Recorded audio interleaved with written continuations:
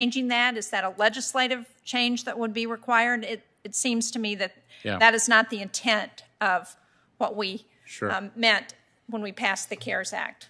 Yeah, so let me, I, I'd be glad to look into that specific question and get back to you. Um, our intent is not to duplicate other forms of assistance like insurance uh, and, and other uh, avenues of funding. But let me look into that specific issue and I'd be glad to work with your office and get back to you. Okay, thank you. I Now appreciate that that. I understand exactly what you're saying now. Thank you. Um, I also want to follow up a little bit on Senator Murphy's questions about the supply chain, because one of the things that we've heard from companies in New Hampshire is that they, many of them have altered their manufacturing capabilities to try and respond to the pandemic.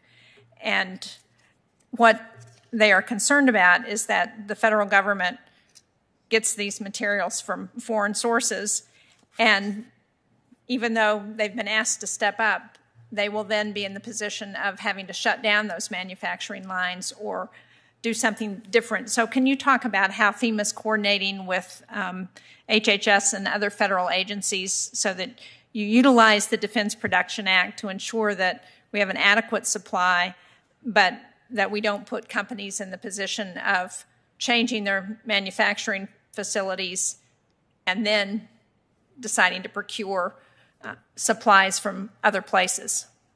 Yeah, so uh, there's many parts of the Defense Production Act, and FEMA um, chairs uh, Title I, which is setting priority orders. But there's other parts uh, with regard to um, Title VII that looks at setting voluntary agreements, and Title III that looks at expansions of uh, you know stimulating economy and, and stimulus. And you know, I think to your point, what needs to happen is we need to, and and and have been doing this for the last uh, about six months, is working with different sectors, uh, especially with related to the pandemic, to start understanding of what the capability is uh, within the U.S. manufacturing.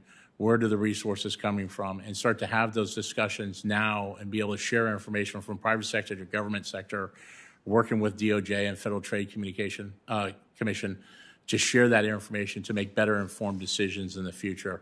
And I think that's where we're headed right now. That's what we've learned from this event. Um, you know, I think if you go back uh, to last summer, it was everyone trying to uh, get whatever they could from wherever they could. Right. And it wasn't a uh, coordinated collective effort uh, and continue to work on it through the end of summer, and probably not till the end of summer did, did it really come together in some uh, way. Going forward, I think we need to continue to do that, not only for a pandemic, but for other, um, you know, high-risk events that may impact, you know, the nation's supply chain in any one field. So it could be an earthquake, and you know, the damages is multiple homes. How do we bring back on, you know, 10,000 homes in a in a quick period of time? And so we need to start having these discussions with private sector, and there's a way to do that through the Defense Production Act underneath uh, Title VII, and start to share information uh, so that uh, we're able to leverage everything the United States has. And would you expect that FEMA would continue to be the lead agency on this, or will do you Well, see think- that shifting? Yeah, I think we're one of them. Uh, you know, you know, we're one of the key entities to do this. We do deliberate planning for high risk, high threat events across the country, but there's other federal agencies that have key responsibilities within the Defense Production Act, um, Department of Commerce, Department of Transportation, Energy, HHS, USDA. So they all, uh, HHS, uh, they all need to have uh, responsibility for their specific uh, Right. functional area, uh, their portfolio. But uh, we uh, definitely have uh, a responsibility uh, when doing uh, the planning for whole government to um, to make sure that there's a coordinated effort. Yeah, and that was sort of the concern that I think Senator Murphy was getting to, is that if we've got a bunch of agencies who are working on this, who's actually in charge of prioritizing what needs to be done? Yeah, so we have responsibility to chair um, the Title I side of things and, and the prioritization. We don't have authority to chair Title III and specific um, expansion of economy or stimulus to each one of those department and agencies. So Department of Energy does it within their organization, HHS within theirs. Now we've gained a little bit through an executive order last year with HHS, and, and but for the rest of them, we traditionally don't. And so um, one of the things we do do is do catastrophic planning so we can identify those gaps. So then those agencies could be responsible for building that capacity. So um, I think through the planning efforts we do with state and local governments, we should, uh, you know, work on identifying where those big gaps are and those those uh, significant events that we face based on risks in our country, uh, to allow those federal agencies then to take their authority and build capacity, or at least start the discussion with private sector to make sure that we have a well thought out plan and we're not doing it just in time when the event happens.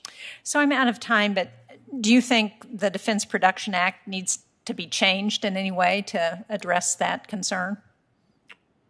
Well, it's a, I, I think it's a good question, and uh, uh, you know, I think that uh, um, I would say that there, it provides it's one tool of many tools to get at the solution. Other tools are let's deal with the risk in front and mitigate the risk. We talked a little bit earlier about BRIC and Right. mitigation and other things.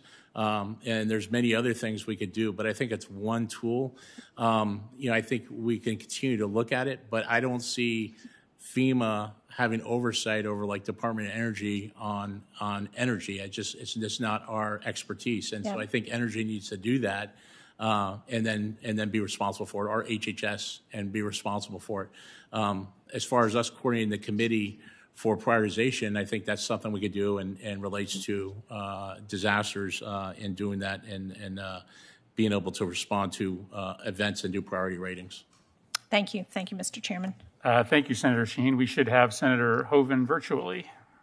Yes, thank you, Mr. Chairman. Uh, Mr. Fenton, I guess my first question relates to the city of Washburn, North Dakota, on February 2nd.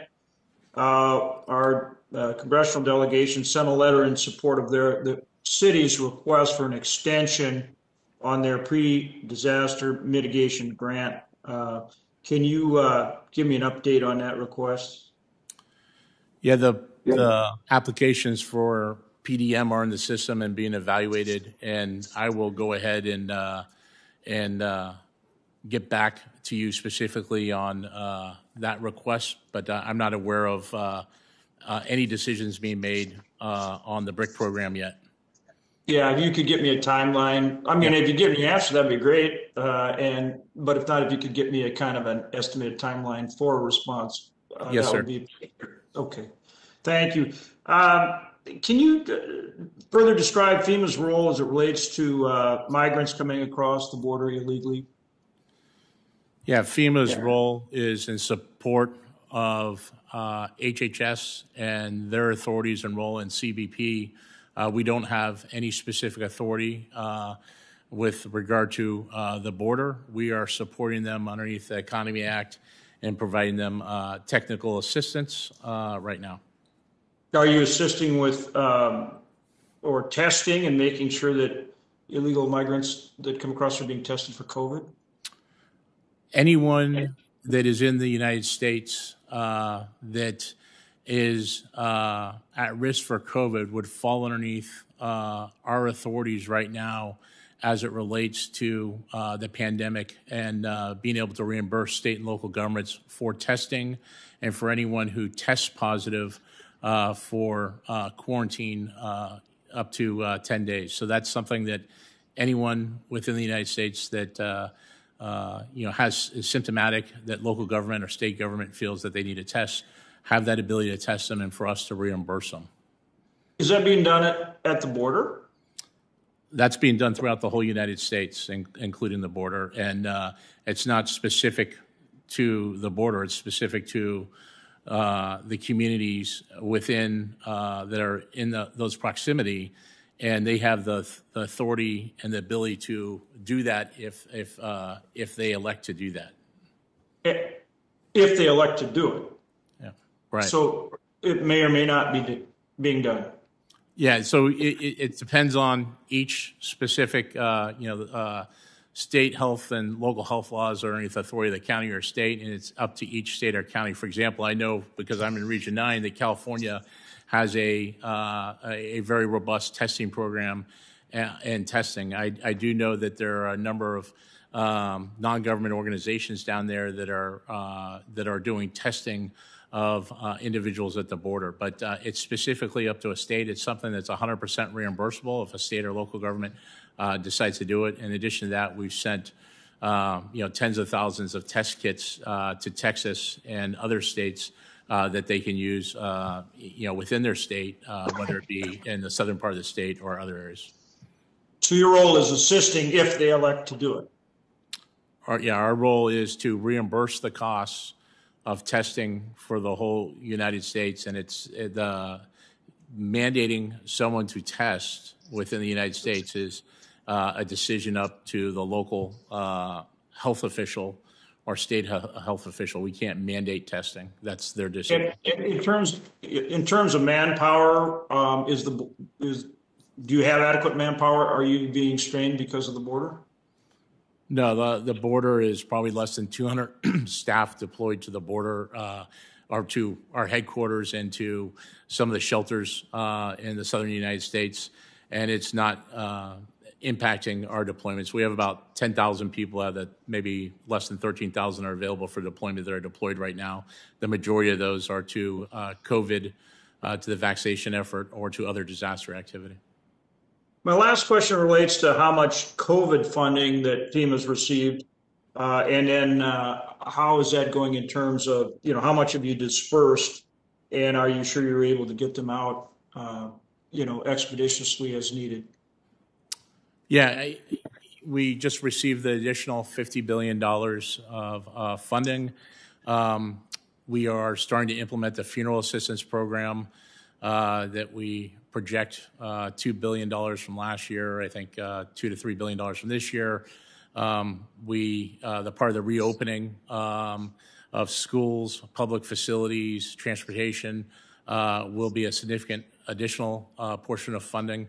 Uh, going back and changing the cost share to 100% will be additional funding. And then we've, as I said earlier, 4.5 billion already in the vaccination effort for the first 90 days.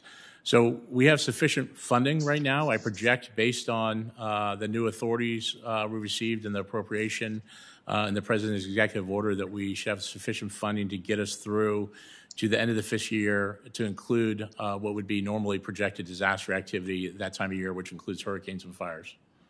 Okay. Thank you very much. Yep. Thank you, Mr. Chairman. Thank you, sir. Thank you, Senator Hoeven. Um, we'll go to a second round of uh, questions. Uh, we appreciate you sticking with us. I've just got uh, two. Um, the first, I wanted to return to this question of uh, responsibility for supply chain management. As you know, um, virtually every state in the nation uh, scrambled to set up their own supply chain for PPE, in particular in the early stages of the um, pandemic. And I think a simple question that states are asking right now is, that, is should they be preparing uh, to have to stand up their own supply chain for the next pandemic? Because if that is the case, there are you know, decisions, some of them very expensive, that states will make. For instance, to you know keep a manufacturer in state with the capability to be able to make uh, certain types of masks or face shields, or do we expect that we are going to sort of solve for this problem. And when the and when and if the next pandemic hits, states will not have to uh, build their own supply chain, and there will be an adequate, complete federal response either through stockpiles or through the management of federal international supply chains to um, meet the need. What, what's sort of your advice right now for states as they're starting to decide how they want to spend money in uh, in advance of the next potential um, outbreak? So I think it's a collective effort. Um, what we've asked and provided funding to state and local governments to do is to uh, go ahead and uh, build the capacity. Most states have built a 60 to uh, some up to 120 day capacity of, um, of personal protective equipment, other medical supplies that would be needed for a pandemic. Um, in addition to that, uh, the, national, the Strategic National Stockpile has built capacity within that. Uh, the medical uh, providers, uh, private sector providers, are building additional capacity, and I've seen hospitals now start to increase their capacity. I think the reliance on a just-in-time logistics system, which we've gotten used to in the United States, because it's been so efficient on being able to deliver resources works uh, except when you have a catastrophic event that impacts that supply chain. So you need to build capacity at all levels of government to withstand, uh, you know, when there is a uh, when there's a run on a specific uh, uh resource, um, and uh, go ahead and not only build capacity to allow manufacturing to catch up, but also to ensure there's sufficient supply to do that. Um, that's just part of the the issue is building that capacity. The second part is we need to be able to increase manufacturing, and how long does that take to do that? Where is the capacity to do that? Uh, you know, what private sectors maybe can retool and do that quickly, uh, and then where do the supplies and material come from to do that? So it's a complex decision. I think we all have part of that, including private sector, has responsibilities uh, to that. We have to understand uh, maybe where the gaps are uh, within that system uh, to make sure that we have contingency plans to uh, to uh, respond adequately to that. So it's a collective effort. So I mean, I certainly understand that it's states' responsibility to build up reserves. I do think it's a, a, a an important question for us to answer as to whether it is states' responsibility to build up that sort of slack manufacturing capacity essentially pay money to hold it in reserve. That is a very specific set of expertise that states prior to the pandemic did not have, um, and would require every state to have you know a level of visibility into their own sort of state-based supply chain that we normally don't ask you know we don't ask states to get involved in that question in large part because it's kind of arbitrary what amount of manufacturing you have in your state when it comes to masks or face shields. Um, it strikes me that that question should really be one dealt with at the federal level. Um, but are you, maybe you don't have an answer now, it's okay, but are you suggesting that the states are going to sort of, we're going to have to have 50 different um, strategies to create uh, slack capacity for the manufacturing of medical supplies, or will that question be more uh, a function of federal oversight and policy? Yeah, I think to that specific piece, uh, and in fact, the appropriation to HHS to provide that underneath Title III of DPA, that's where they should then work with private sector to uh, be able to build uh, that capacity. And and uh, I know that right now uh, we're working in a number of efforts along with HHS uh, to work with private sector to how to build uh, capacity. So DoD received a billion dollars in uh, the last uh, appropriation, and, and, HHS received, I think it was $10 billion um, underneath um, Defense Production Act, uh, Title III, to work with private sector to build that additional capacity. And, and that's, I think, the best place for that to be done at, um, unless there's something unique maybe to a local government or rural government uh, with regard to relationships to uh, some private sector within that area. I, I, just think we have to be as clear as possible with states as to what their obligations are yep. and what their obligations aren't, because they obviously got into the business of doing all sorts of things over the last year that they uh, weren't expecting to do. And I think they want to know now whether those are sort of permanent new functions that are outsourced to them or whether this was a one time only request. So look forward to working with you and HHS and the administration on delivering that clarity. Um, with the uh, Senator Capito's, um, uh, uh, if she'll allow me, I have one additional question, which is um, on um, outreach uh, with respect to vaccination efforts. So we're getting to um, the point where we hope there will be an adequate supply of vaccination, um, and we will be in the position of uh, a deficit of demand, uh, and that we will have to be going out and doing outreach to harder to reach communities or individuals who are skeptical about vaccines to uh, convince them of the merits of that vaccination. That, of course, requires not just having the vaccination site set up, but having education and outreach efforts funded. Um, and I want to just sort of ask about the ways in which states can apply to get that reimbursed. There's 100% reimbursement, but there may be circumstances in which you have an outreach worker who, for instance, is going out and you know trying to uh, contact chronically truant students at school, but who will also do education on vaccination uh, during that outreach visit. Do you foresee any difficulty in making sure that states get adequate reimbursement when um, some of the outreach efforts that are going to be necessary throughout the end of the year may be intermingled with other functions that public health workers are doing, for instance, that might not be eligible for reimbursement?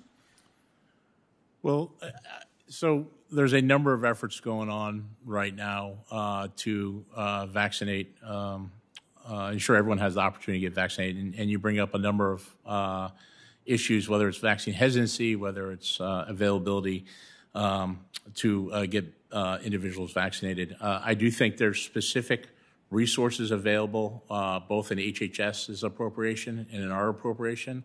And I think those activities are covered between those appropriations, specifically depending on what the individual is doing. It may be our appropriation or maybe HHS's. Uh, based on your description, most of what we're providing reimbursement for is the protective measures, the the um, you know N95 masks, uh, the um, uh, any um, uh, protective barriers, um, you know testing, um, anything that is an immediate protective measure to reopen, and then the other federal agencies are funding efforts to uh, maybe do outreach and investigation. Plus, we are also assisting with a community outreach uh, campaign right now uh, with HHS, uh, CDC, uh, and state and local agencies. And we're bringing vaccine through many different efforts to include uh, mobile units, which are which are anything to do with actually vaccinating.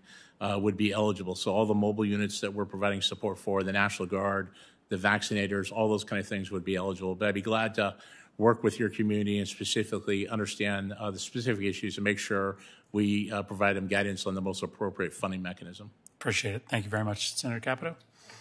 Thank you. I just have two quick questions. Um, looking to the future, obviously, um, uh, hurricane and wildfire seasons are sort of around the corner. You and I talked. I actually asked you, uh, being a native Californian, if if there were if anything was on fire and and unfortunately uh, fortunately no um, and that's good but um, I know that you can you continue are, are you concerned with the way you're spread out through COVID and everything else uh, anticipating fire and hurricane seasons or you've you've mentioned that you have um, uh, adequate uh, uh, staffing availabilities for for any disasters. But I was just curious and wondering know if you're concerned about what could happen during these two seasons.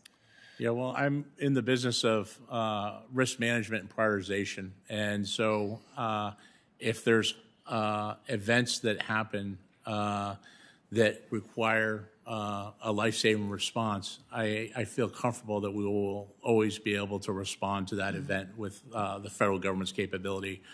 In addition to what FEMA has right now, and still about 2,500 personnel left that are responders They could go out to events.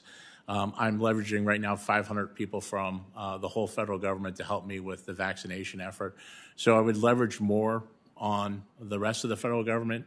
Right now, we have about uh, 9,000 people deployed to do vaccination, and that includes about 4,500 or 5,000 DoD personnel. So uh, it's always a concern. It's something I watch, uh, and and I look at future threat, and I manage that risk to make sure that we have enough resources. But it's the response is bigger than FEMA. It's state and local government and all the capability they bring in. It's all the non-disaster grants, the two billion dollars we put out a year to build that capacity. Um, we continue to do that to build that capability so that collectively we can respond to those events. Mm-hmm.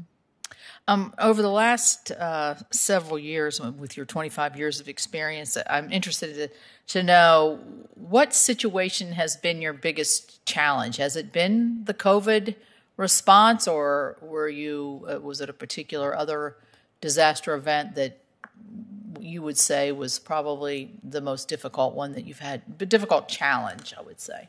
Yeah, obviously the the biggest um, impact I've ever seen, the most deaths is COVID. Uh, it's just um, you know what it's done to our country, shut down our economy, uh, the impact it's had. Uh, you know, far beyond uh, physical damage that we traditionally see uh, in other disasters. It's just been um, uh, you know, it has been far greater than any other disaster I've been to.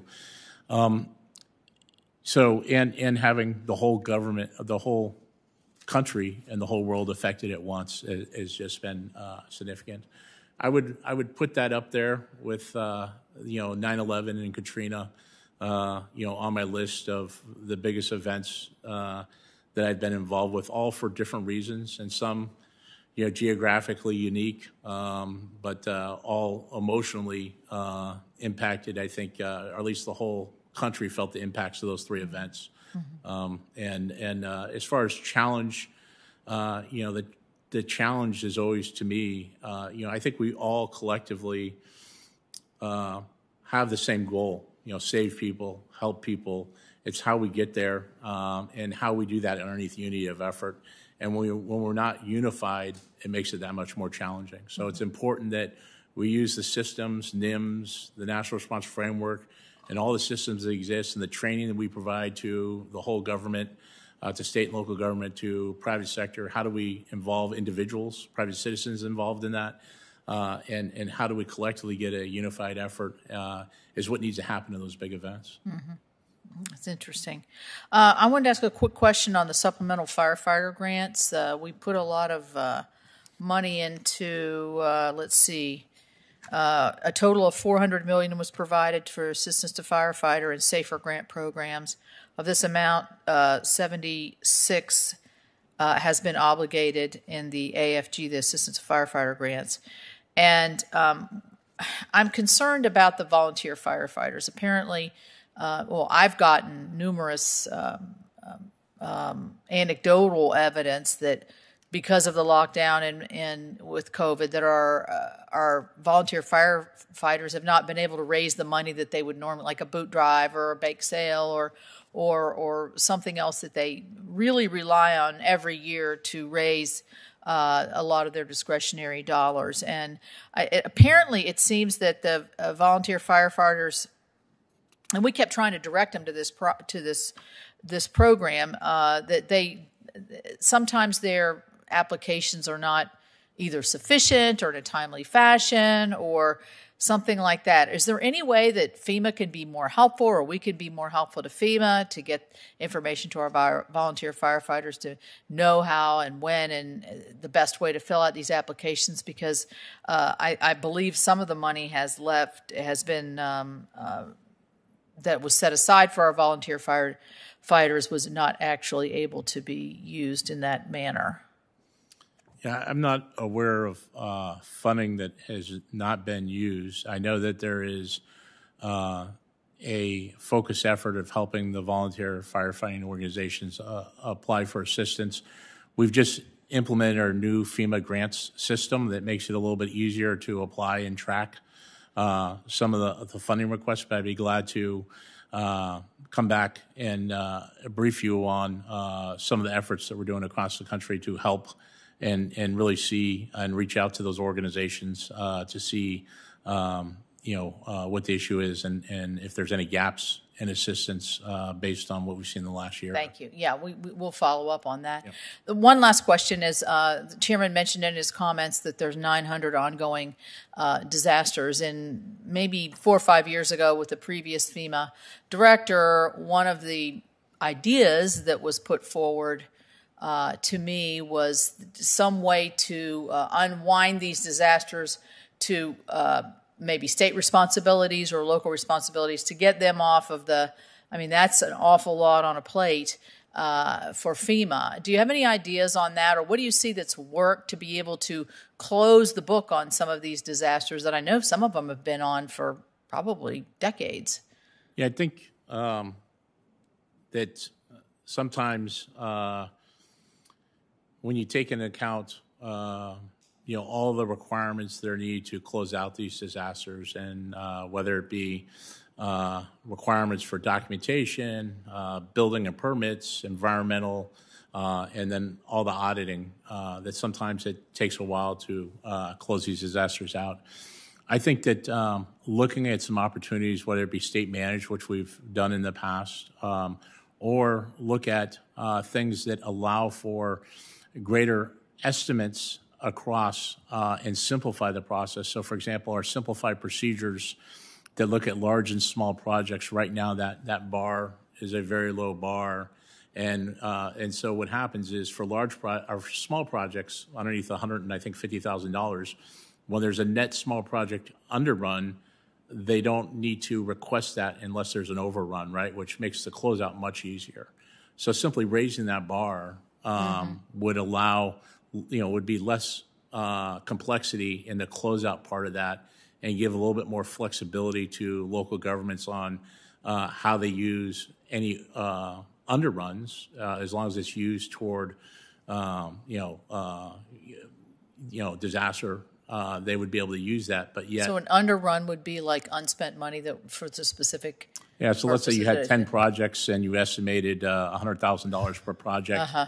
And and at the end of the day, you did it for eight hundred and seventy thousand dollars because of efficiencies. Mm-hmm. So uh, there'd be some incentive there to uh, local government to, you know, as long as Yeah. they reuse that for maybe mitigation or something like that, they'd be Right. able to And then sustain close it out. right? And it'd close out much Yeah, quicker yeah. than right now. Every project being to the exact penny, and that's the problem now. Is that Okay. every project's to the exact penny, and, and anytime you have a program like that, we're incrementally adding dimes or dollars Uh-huh. to close things out. Yeah. Thank you. Thank you, Mr. Chair. Um, Thank you, uh, Senator Capito. Let me uh, finish up with one last uh, question, um, and that's on the BRIC program. Uh, Obviously, this has been a very popular uh, account. Uh, In 2020, FEMA was only able to fund about 14% of requested demand for pre-disaster mitigation projects. Um, I had a interesting meeting with some of my uh, emergency management personnel in Stratford, Connecticut um, during the break.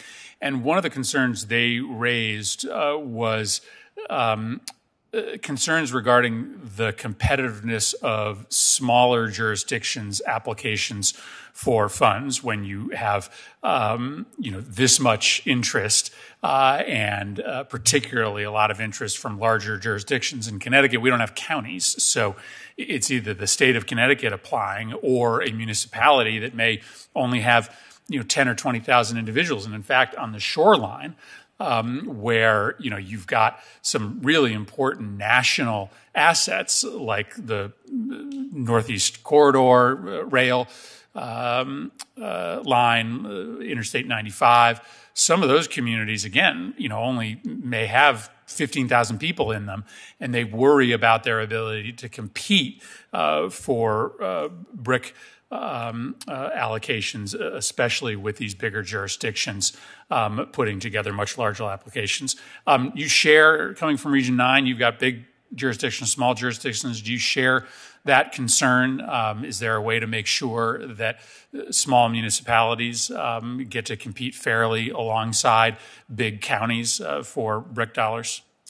Yeah, so within the BRIC program, there are uh, some set asides uh, within there to uh, ensure that uh, there's opportunity. Uh, a couple of them are uh, they've put aside $20 million just for tribes uh, so that they're able to compete. And as I understand, a little bit over 60 tribes have already submitted applications for this BRIC program.